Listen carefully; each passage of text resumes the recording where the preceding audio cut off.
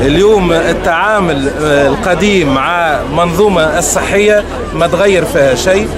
إذا كان فما مشكل أساسي في البلاد هذيا اللي هو مشكلة أطباء الاختصاص الغايبين في المناطق الداخلية هذا موضوع حقيقي ويعانيوا منه الجهات الداخلية. وإحنا بعد الثورة الجهات الداخلية لازم تاخذ حظها من التنمية وخاصة من التغطية الصحية ولكن الحل لا يكون بالطرق القديمة لا يكون بطرق الإسقاط وإنما بطرق الحوار والتشاور. وهذا شنو نطلبوه اليوم من وزارة الإشراف ومن المجلس الوطني التأسيسي.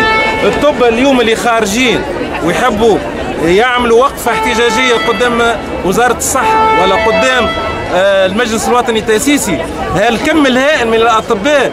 ما همش كلهم غالطين ما همش باش يجتمعوا على غلط وخطأ.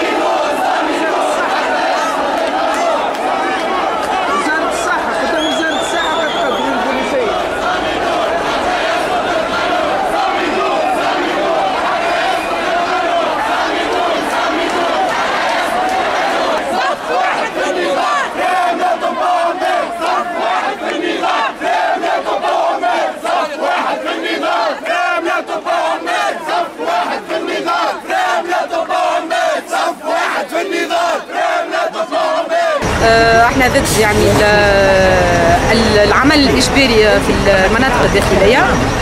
مش معناتها طبيب ما يحبش يخدم لبرا أما الظروف الموجودة في البلاد البرا ما تخليش ما تخولش للطبيب إنه باش يتعلم. خاطر هو ماشي en stage يتسمى donc الطبيب en stage يلقى les équipements كاملين يلقى الظروف اللي باش يخدم فيها.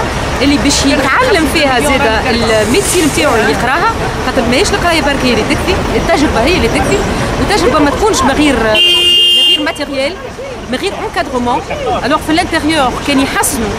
يعني المنظومة الصحية تكون أحسن من أنها تكون الطبيب stagiaire هو اللي باش يخرج لبرا في ال intérieur. هو ما يرفضش ما يرفضش المبدأ mais فما des conditions باش تخلي فيها طبيب يعدي ستاجيته ثلاث سنين في ال intérieur.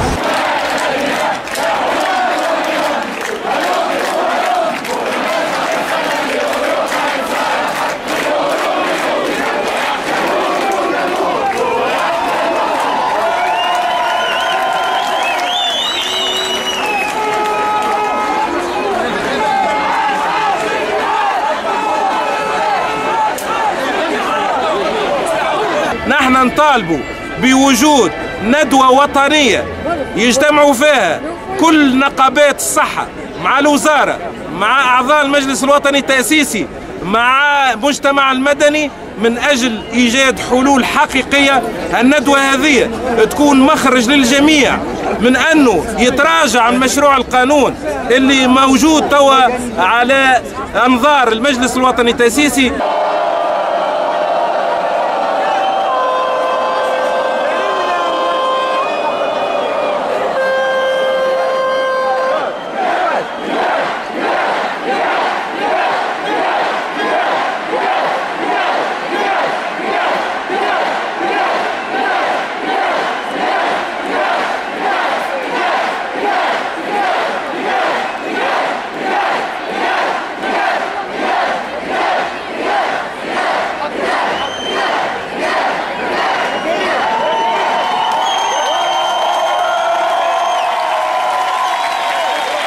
صحيح ربما المواطنين يقولوا أن الوزارة طارحة طب الاختصاص في المناطق الداخلية. هذا مطلب حقيقي للمواطنين ولكن لا يمكن فرض أي حل على الأطباء بقوة الوزارة وبقوة البوليس وبقوة الدولة.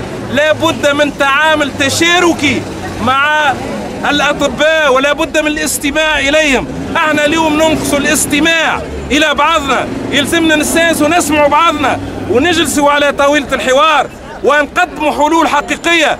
الأطباء ما همش ناقصين أفكار ما همش ناقصين حلول. عندهم الإمكانية باش يقدموا الحلول الكافية لهذا المشكل.